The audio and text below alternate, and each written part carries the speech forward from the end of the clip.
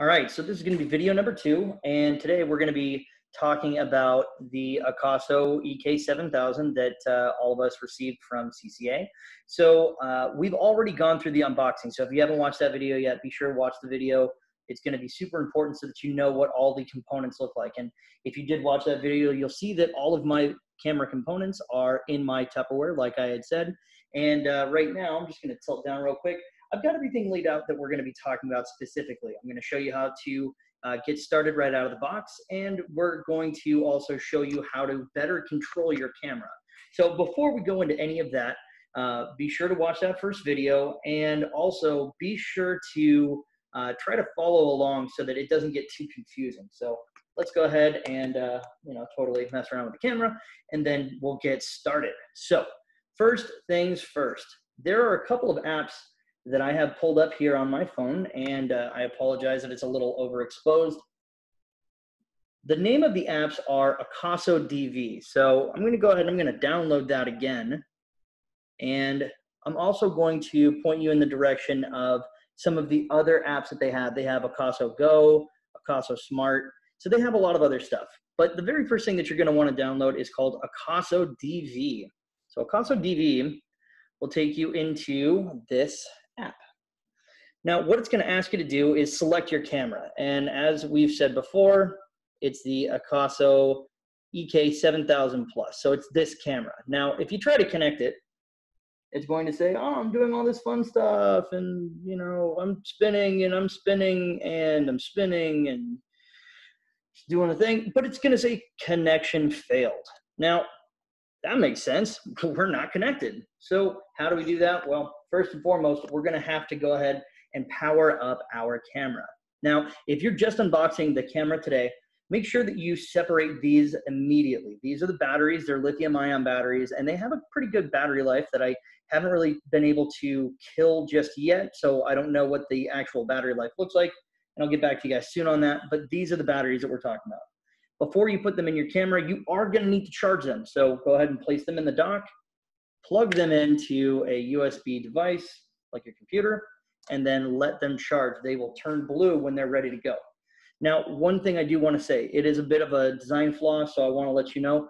The battery goes in the bottom of the camera, which is great, and it has this little tape piece so that you can easily pull it out. So don't remove this. Don't uh, don't go and chop that off. That's going to be important later. It's going to be how you take it out but the design flaw really is in the door for the battery. It's this little tiny plastic thing. Um, it does take a couple tries to get it uh, situated and aligned uh, perfectly flat. So make sure that this notch is sitting where it's supposed to be. And then don't try to cram it in there. It is kind of a fragile piece. So just be very cautious. And, and you can see my first attempt, it didn't even fit. So sometimes I, uh, you know, forget, but make sure that it is sitting flat just like that.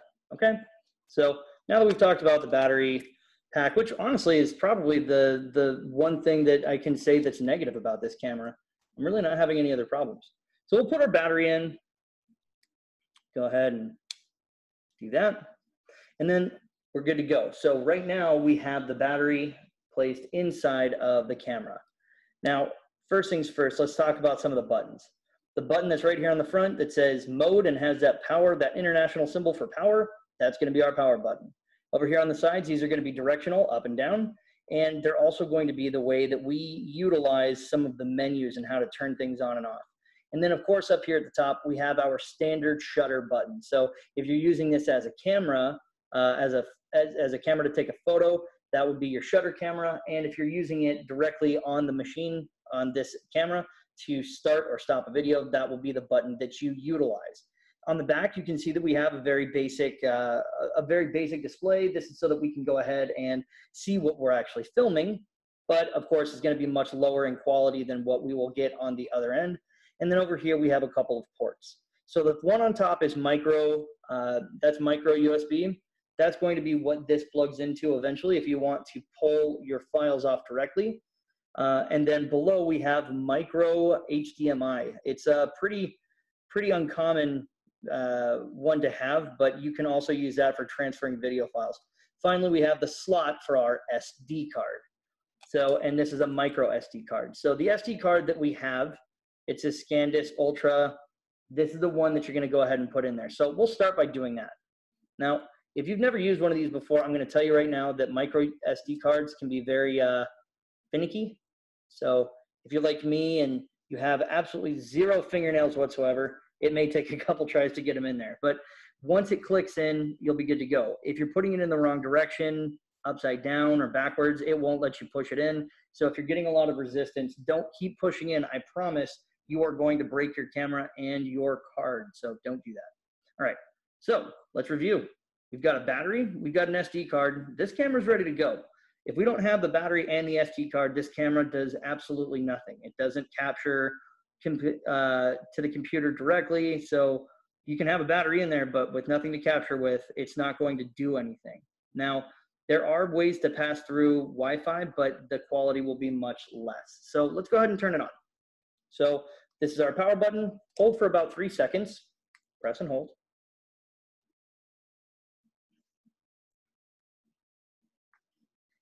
Let's try that one more time.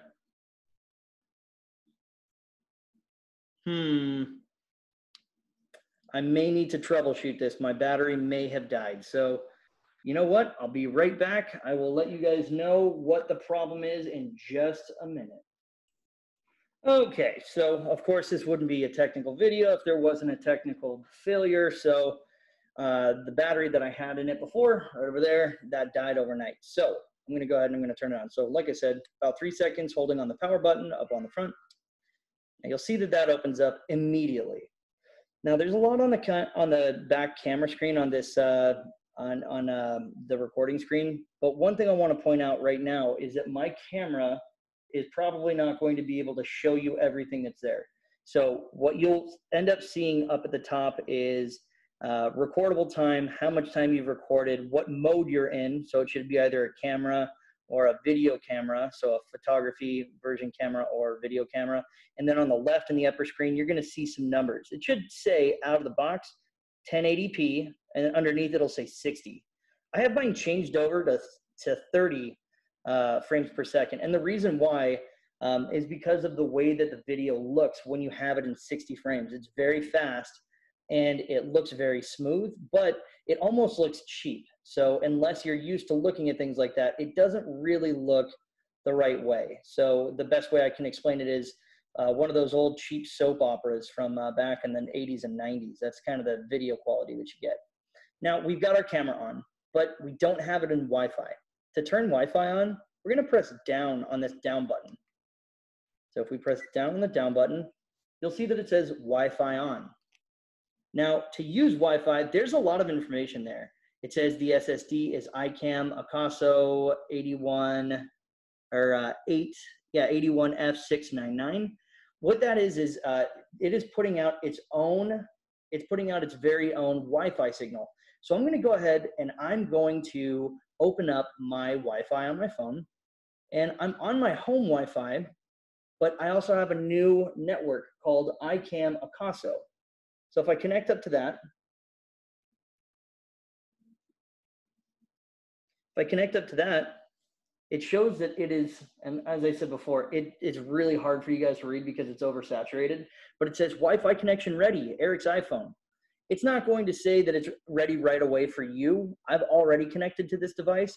So all that you need to do is put in the password. And it looks like the password is standard at one, two, three, four, five, six, seven, eight, nine, zero. So just numbers one through nine and then a zero at the end what that's going to give me the ability to do now that I'm connected to the internal Wi-Fi router or the internal Wi-Fi broadcaster on the camera, is I'm going to be able to go over here to the Akaso DV app. Now what I can do is I can connect.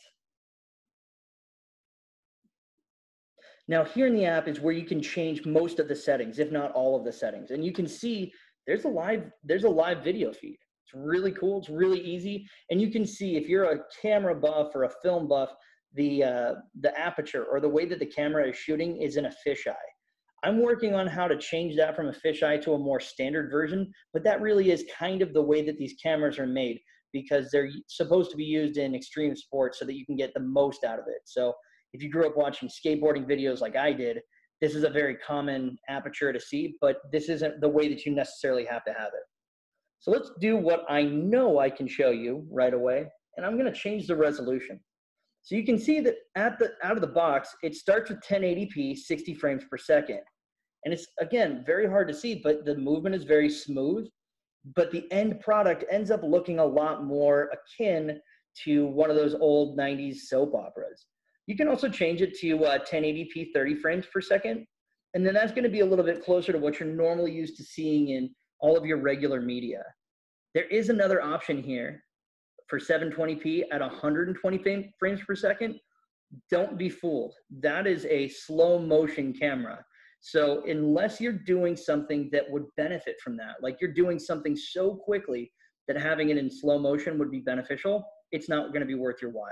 So we'll go ahead and we'll select what I already have, which is 1080p at 30 frames per second, and then we'll go from there. Now, if you look down here at the bottom of the screen, you see an arrow. So you can change a lot of the stuff here. You can change your video mode. Uh, you can change to a photo mode. You can also use uh, photo burst, self timer, and photo mode itself. So let's look at photo mode. So in photo mode, you can see that it's uh, there's a lot of numbers up here at the, at the top. 12M, 4, uh, 4608 times 2592. This is saying that it's a 12 megabit camera, and this is a pixel resolution that you're going to get out of taking pictures like this. So you can actually take pictures remotely from your device. So boom, we just took a picture. And then that will actually populate into the, uh, into the app's internal storage. And we'll be able to look at all of that directly here on the device.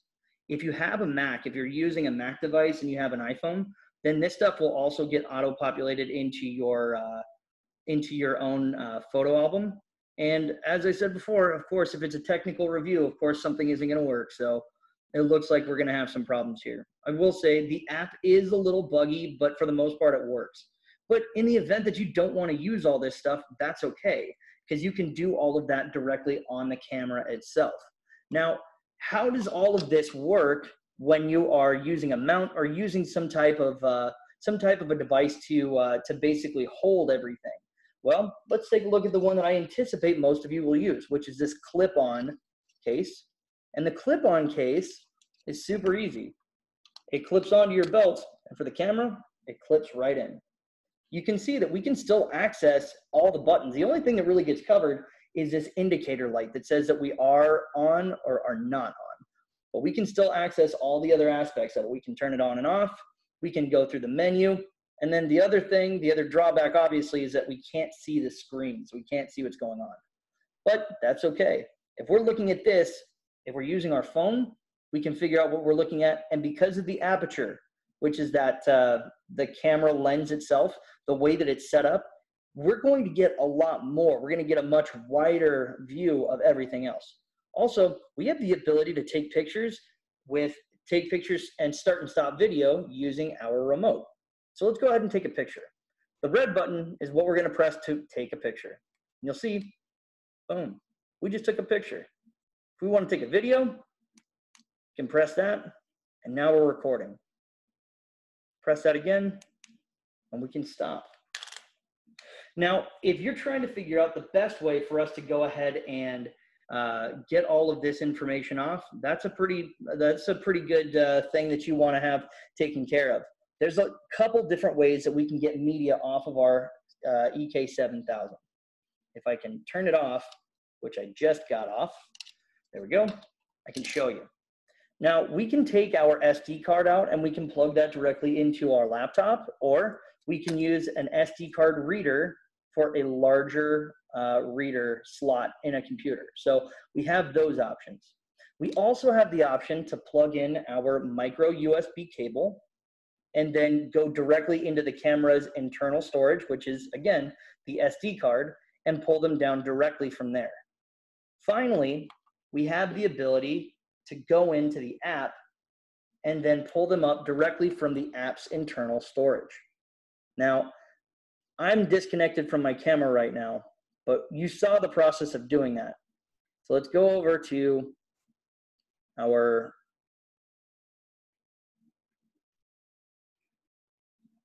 Hmm. Well, It looks like we're gonna have a problem with that being off. So what we're gonna have to do is we're gonna have to go back, turn the camera on. And of course, everybody kind of has their way of doing things. So if this is the, the way that works for you, then that's totally fine. Let's, uh, let's go ahead and let's connect up again.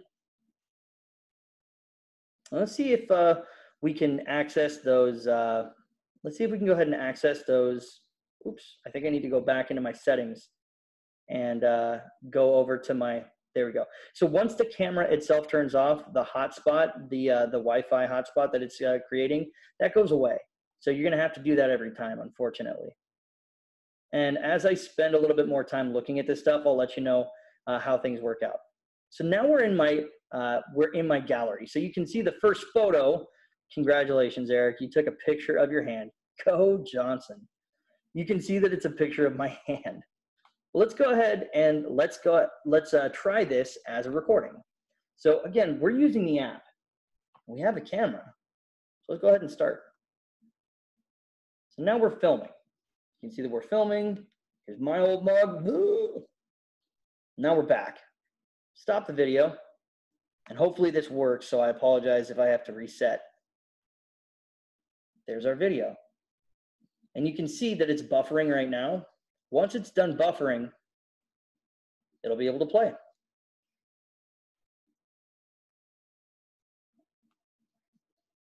Now, what you're seeing is not an actual representation, so you won't be able to hear audio in it right in the app. But what you can do, you can click on the file, and then you can go down here and press save. So that'll download and you can have that go directly into your, uh, into your uh, photo albums here on your phone. That's probably not the way that most people are going to do it because they don't have all of this set up on their phone. So what I wanna show you guys is exactly how all of this works out if you're on the computer. So what we're gonna do is we're going to uh, start a screen share and I'm gonna plug this camera in so that you guys can see what's going on. So while I do all of that, I'm gonna talk to you a little bit more about the camera. So one of the best aspects of this camera is the fact that it has multiple uh, abilities to record.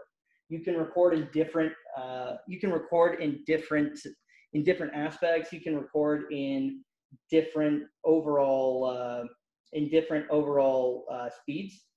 But what I really like about it is that it's so easy to plug and play out of the box. So we're gonna go ahead and we're gonna turn the camera itself off. I'm gonna make sure that it is populating on my computer, which of course it is not yet. Because why would that work? But once it does, once it self-realizes and uh, does all of that, we'll go ahead and we will start a screen share so that you guys can see what's going on.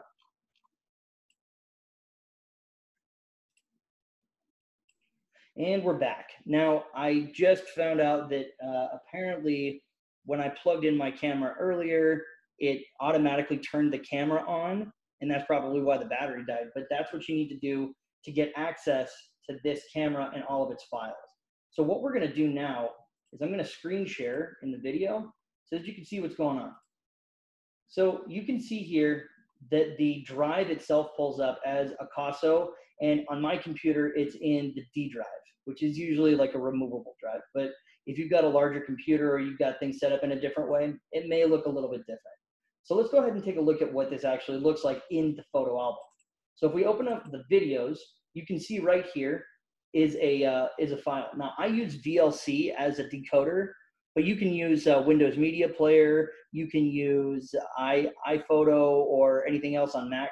Uh, your computer should identify it. But if you are having trouble opening these files, go ahead and download VLC, which is a video decoder. It's free, super easy to use, and uh, it does seem to work on district computers. So we can go ahead and open this up. So now we're filming. And now you can see. Now we're back. And now you can see that the video does work in here. Let's go back over here to our uh, to our camera. If you look in here under photos, here's our photo of my hand. So that's pretty much going to be the best way for you to pull these things down. Because you have the ability to capture on one screen, but uh, actually download and save files on multiple different devices, I would recommend that if you're going to go ahead and do this, that you make sure that you use a uh, that you use the cable that's that's provided and download everything to your desktop. That's how you're going to get the best quality. So I'm going to stop sharing real quick, and I'm going to turn the camera back to me. So, howdy. Now, all the things that we talked about with the uh, EK7000 so far are pretty straightforward. If you do want to get a little bit more into it, you're going to have to access the menus. So we're going to talk about the menus in our next video, where we go into a bit more technical dive of how all of this works. But what you need to know is if you are not necessarily going to change anything, you can use the camera in the settings that it has out of the box, and you won't have to really do anything to get it to run the way that you want it. Like I said, I have a little bit different idea of what I do want and what I don't want and I didn't want to have that camera uh, filming at 60 frames per second so that it would look like a, like I said before, a soap opera. So I changed that. Changing it is super easy. You can do it directly on your phone in the app. You can also do it directly on the camera itself. However, the one thing you can't do is change anything on the camera when it's plugged into your laptop. The only thing that you can do on your camera when it's plugged into your laptop is access the internal memory on that SD card. So the only thing that you can do is grab files and then put them directly on your computer, download them. So you won't be able to do any kind of a pass through like that. So there are different ways to change the menu options. Uh, I honestly think that directly on the app is going to be the easiest way. Um, but some of you may want to do it, um, you know, in a more tactile or tactile fashion, uh, and do it directly on the camera. So it's entirely up to you. That concludes the uh, the actual review of the camera. We've already done our unboxing, so be sure to watch the unboxing video. This video went over all of the different components, and then finally, we'll do a third video to break down some of the more advanced features. So it's going to be kind of a limited video. Uh, I think most of the people that know what they want and know how to get the uh, advanced features out of it are going to be able to do it on their own. And that's probably going to be our video editing and uh, uh, other teachers of that caliber. But you know, if you do want to change it a little bit, and you don't want your um, you don't want your videos to look like The Young and the Restless or Days of Our Lives, then I'll show you how to do that. So until we come back, have a good one. Talk to you guys soon. Bye.